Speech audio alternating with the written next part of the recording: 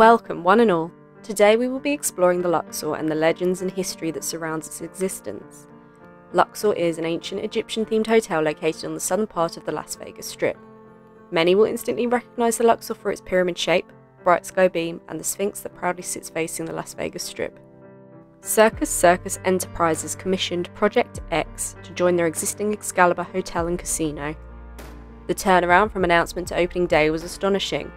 William Bennett, the CEO of Circus Circus Enterprises, announced the project in 1991. Groundbreaking took place on the 21st of April 1992, and by the 15th of October 1993, the Luxor had opened. With a budget of $290 million, the Luxor ultimately cost $375 million. At opening day, the Luxor was the tallest building on the Las Vegas Strip. However, this only lasted for 11 days as Treasure Island Resort and Casino opened on the 26th of October 1993, taking the title from the Luxor. Good evening. Sarah's off tonight, and the Luxor is off to a successful launch of its grand opening. Crowds pushed through the front door less than 24 hours ago. On opening day, 15th of October 1993, a crowd of 10,000 were in attendance. It's fabulous, really fabulous. Pretty, pretty amazing what they've done here. It looks great. It's fabulous. We sort of figured it was going to be solid on the inside. All the more impressive that it's so hollow. The Luxor's casino was 120,000 square feet, had 2,526 hotel rooms. At the time, the world's largest atrium with a volume of 22 million cubic meters. The Nile River, which was a riverboat ride which transported guests around the pyramid. Only this discovery you must explore yourself. Within Luxor, you can voyage back 3,000 years on the River Nile past elaborate murals illustrating the rich history of the ancient Egyptian empire and look upon the seated Ramses of Abu Simbel. There was King Tut's tomb and museum. A replica of King Tutankhamun's tomb is found in the Valley of the Kings.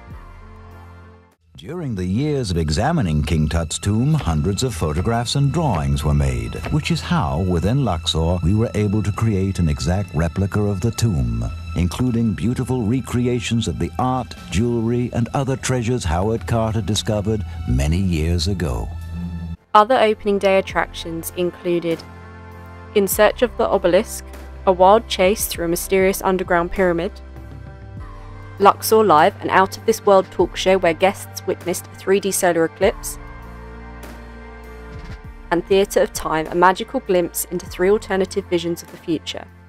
Inside there, they've got a screen seven stories high. No kidding. And seats that go up 70 feet.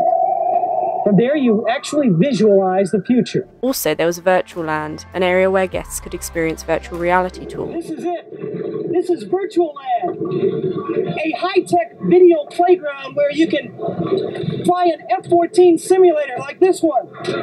Wow. Believe me, you don't want to try that if you're prone to seasickness. You see, Luxor is really a collision of the past, present, and future. Hotel guests could enjoy a spa, gym, swimming pools, and a hair salon. Another opening day feature since removed was a laser show. The Sphinx used to project the word Luxor from its eyes onto the neighbouring pyramid. Elias and Jody were two animatronic camels named after two close friends of the Luxor's head developer. Their first home was in the casino, then the lobby, and finally the walkway between Excalibur and the Luxor. After 10 years, they were removed in 2003. Some of the first guests complained that their hotel rooms were incomplete and not up to standard on opening day. This may have been as a result of the short construction timescales of just 177 days. William Bennett, the CEO of Circus Circus Enterprises, resigned in 1994 after disagreements with the company regarding the plot of land which would later become the neighbouring Mandalay Bay Hotel and Casino. In 1996, just three years after the Luxor opened, it would already receive a $240 million expansion, which included an IMAX theatre to replace the Theatre of Time attraction. After only three years of operation, the Nile River Tour was removed. In 1998, a further 2,000 hotel rooms were added by building two additional towers east and west, which cost a further $675 million. The expansion brought the Luxor's total room count to 4,408. 2004 brought the opening of the Sky Bridge between Luxor and Mandalay Bay. A fantastic addition, connecting the two hotels through a convenient mall walkway. In 2005, shortly after William Bennett's death, MGM Resorts International purchased Luxor's parent firm Mandalay Resort Group, formerly Circus Circus Enterprises. Mandalay Resort Group was made up of the Luxor, Mandalay Bay, Excalibur, Circus Circus, and one half of the Monte Carlo. They purchased the company for $8 million. Another remodel was announced in 2007 by the new owners MGM Resorts International. MGM spent $300 million on renovations, and much to many of the hotel's frequent visitors' disappointment, this involved removing much of the Luxor's character and theming. The aim was to add a more modern and adult theme to the resort. In line with the removal of the ancient Egyptian theming, 2008 brought the closure of the replica of King Tutankhamun's tomb, and the Luxor donated its replica artifacts to the Las Vegas Natural History Museum. The LAX nightclub closed in 2017 and was replaced by the Esports Arena, which hosts professional gaming events. The Luxor is thought to be cursed. There are a couple of theories which explore why this could be. Circus Circus Enterprises certainly started with the right idea. Replica ancient Egyptian artifacts were imported which closely followed each historical detail as best they could down to the materials used. Attention to ancient Egyptian detail only stretched as far as the replica artifacts, which were created for the King Tutankhamun display. Beyond this point, the Luxor didn't follow ancient Egyptian traditions. It is claimed two sphinxes are required to protect a pyramid. The Luxor only has one. Triangles and pyramid shapes have mystical meanings and properties. Some describe pyramids as a vortex of energy or symbolic of a bigger consciousness of strength and energy. Some believe that unless the shape of an eye is positioned on top of the pyramid, the Luxor will potentially attract dark energy. Most Egyptian pyramids were built as tombs for pharaohs and their consorts. The superstitious among us may view this as unlucky. Another theory is that the site of the Luxor used to be used by the mob to bury their victims. Therefore, the site could be deemed unlucky as a result of this.